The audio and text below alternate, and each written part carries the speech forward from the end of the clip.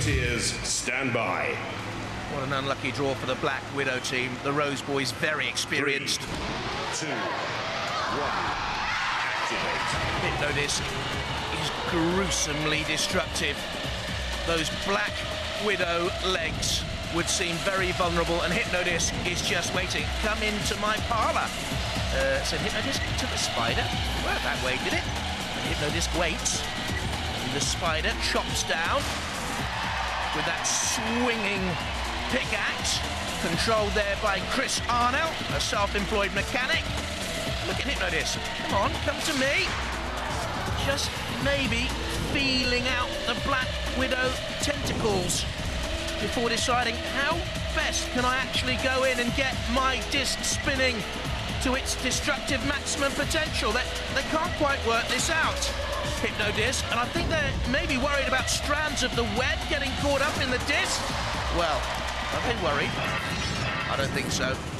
A little side-on attempted assault. Did it cause much damage? We'll wait and see. That did! Eight legs down to seven. Look at this. They waited their moment.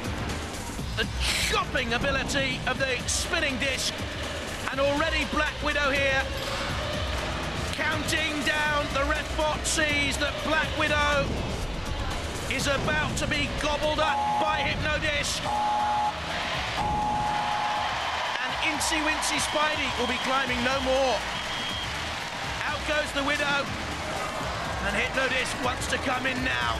But it's won the battle for a bludgeoning blow before leaving Black Widow to the husbandry of the house robots.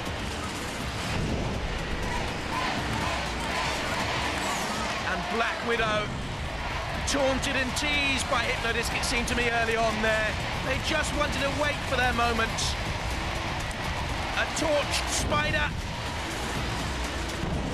And a gruesome end to a first and valiant effort on Robot Wars for the team from Brampton.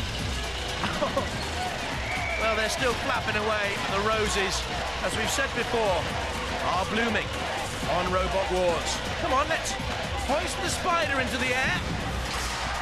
That took some doing, and I think that's the first time our floor flipper has failed to hoist a robot at the first attempt. You're talking 200 kilos, mind you, there. It didn't fly first of all, balanced precariously on a web of its own making, perhaps.